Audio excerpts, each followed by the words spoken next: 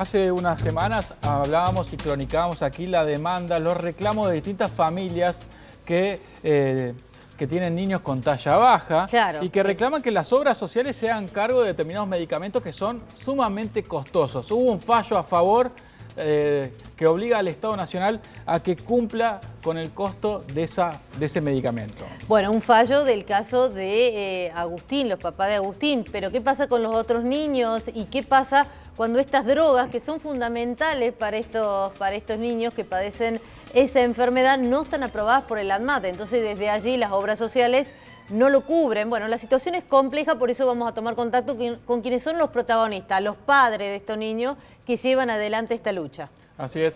Le damos la bienvenida a Lisette. Pablo, buen día, ¿nos escuchan? Hola, buen día. Hola, buen, día. Buenos días. También está Karina, la mamá de otro, otro nene. Sí. Karina, ¿qué tal? Vamos a comenzar Hola, buen día. Buen día. Oh, buen día. Lisette, contanos el resultado que ha tenido el reclamo, la demanda judicial, porque debieron ir a tribunales para recibir este fallo a favor de Agustín.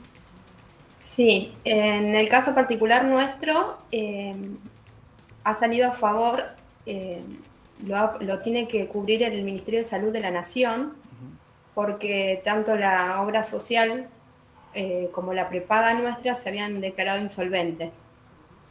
entonces, bueno, salió el fallo que tiene que cubrirlo el Estado en un 100%.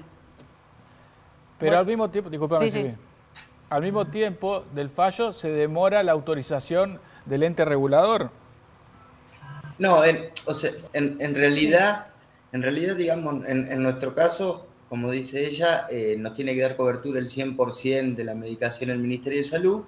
Y después hay otros casos en Argentina en donde quien tiene que dar la cobertura son las obras sociales o las prepagas. ¿Cuál es el problema que estamos teniendo hoy en día y, y por el, y nuestro reclamo, no? La semana pasada el laboratorio que fabrica este medicamento vino a la Argentina para comenzar los trámites ante ANMAT para que le aprueben eh, el medicamento que se llama Voxogo, que es para los niños que tienen talla baja, condroplasia. Entonces, nosotros sabemos que es un proceso largo esa aprobación, que lleva su tiempo, pero bueno, muchas veces el tiempo de los organismos no es el mismo tiempo de las familias. Y, nosotros lo que estamos reclamando es que se apruebe la medicación. ¿Para qué? Para que todos los chicos puedan tener acceso al, medicamento, porque las obras sociales o las prepagas, al no estar aprobado en la Argentina, se están escudando eh, en que al no estar aprobado ellos no tienen que dar cobertura, en algunos casos están cortando la medicación. Claro. Eh, y bueno, en, nuestro caso particular, eh, la, medicación todavía no llegó, calculamos que la semana que viene va a estar llegando. Y esa medicación, no sé quién de, de los tres me quiere responder, ¿cómo modifica la calidad de vida de los hijos de ustedes? Mira, lo que hace la medicación, eh, lo que tienen ya totalmente comprobado hoy en día, es que lo que le permite tener a los chicos con acondroplasia es un crecimiento proporcionado. Claro. Ellos por lo general al, tener el problema en los, huesos, en los huesos largos, que están afectados por el gen, no tienen un crecimiento proporcionado, sino que, eh, ejemplo, el, tronco crece como una persona que no tiene acondroplasia y brazos y piernas crecen muchísimo menos, entonces hay una desproporción. Y, y, con esta medicación lo que tienen es un crecimiento totalmente proporcionado. Incluso hemos visto algunos documentales de, de chicos que ya han comenzado hace muchos años con la medicación y, ellos remarcan que, ejemplo, no tienen más dolores en las piernas o que las nenas pueden ir higienizarse solas. Entonces, son, son cambios que van más allá también de lo que es la salud. Ayudan a, mejorar la calidad de vida, que es el derecho que todo niño tiene, ¿no? Y bueno, en, en, nuestro caso, Agustín tiene cuatro añitos, recién es muy chiquito, pero el nene de Karina eh, ya tiene 9, 10, 11. 12, ahora. Entonces que nadie te puede explicar un poco eso. Claro, Karina, contanos en qué estado está el reclamo a, tu obra social o al Ministerio de Salud de la Nación. Eh, nosotros eh, tenemos OSDE y bueno, estamos, ya hay un antecedente que en Argentina se dio la medicación, así que estamos ahí, esperando que, que se apruebe y pero sobre todo que pueda entrar a la Argentina. y que la traigan las obras sociales, no, no nosotros como padres, porque sería mucho más difícil.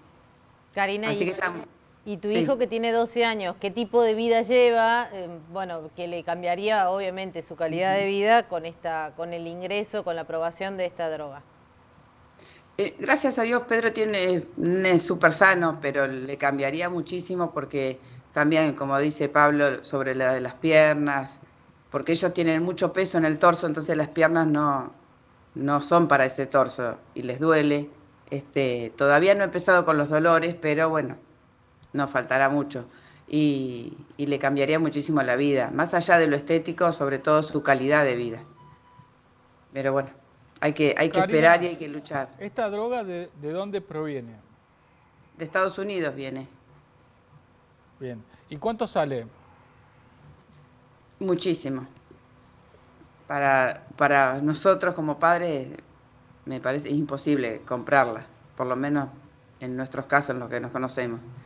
Yo calculo que es unos 60 mil dólares por mes más o menos, nos dijeron. 30, eh, 30 más o menos. Son casi ah. mil dólares por día, sí. ¿Y en Estados Unidos es una droga que ya está aprobada por la FDA o está en experimentación? No, está aprobada por la FDA. En Europa está aprobada por la EMA. Está aprobada también en Brasil. Japón. En Japón se aprobó ahora hace poquito.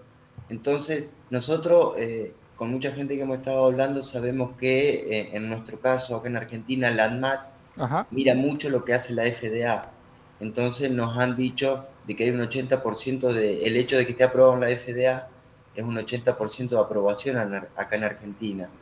Entonces por eso que estamos tratando de que nos escuchen como para, para que le den celeridad al tema, porque la realidad es que en nuestro caso Agustín tiene cuatro añitos, tenemos mucho tiempo por delante.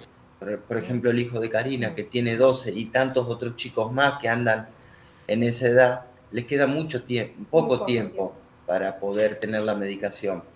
Eh, entonces, el hecho de que se apruebe acá en Argentina ayudaría a muchísima, a muchísima gente, incluso a la gente que no tiene obras sociales, porque en el caso de la gente que no tiene obras sociales, las tiene que cubrir eh, la parte de desarrollo social del Estado. Y uno de los requisitos para que ellos te cobertura es que el medicamento esté aprobado en el país. Por eso es que estamos haciendo este, tanta fuerza para que ANMAT nos escuche y, priorice la, aprobación de este medicamento. Bueno, y como padres de, Agustín, ¿qué, sueñan para, su hijo? Tiene cuatro años y por supuesto están luchando por una mejor calidad de vida para él. Pero como padres, ¿qué es lo que sueñan para su hijo? Mira, yo siempre le digo a, a que nosotros tenemos que pensar que hoy eh, Agustín es, es un niño, el día de mañana va a ser un adolescente, un adulto y va a llegar a viejo. Entonces nosotros lo que estamos tratando de buscar es de, luchar para que se puedan hacer valer todos los derechos de, los niños con acondroplasia y que él luego en la medida que vaya creciendo no tenga que preocuparse por otra cosa más que por disfrutar de la vida y ser feliz. Así es. Así es. Karina, Lisette, Pablo, le mandamos un abrazo grande, muchísimas gracias por contarnos también su lucha, ¿no? que no es una lucha solo para sus niños, sino también para todas las familias con, personas con acondroplasia. Les mandamos un abrazo grande, que tengan buena jornada. Bueno, muchas gracias. Muchas gracias por apoyarnos. No, gracias a ustedes por el contacto.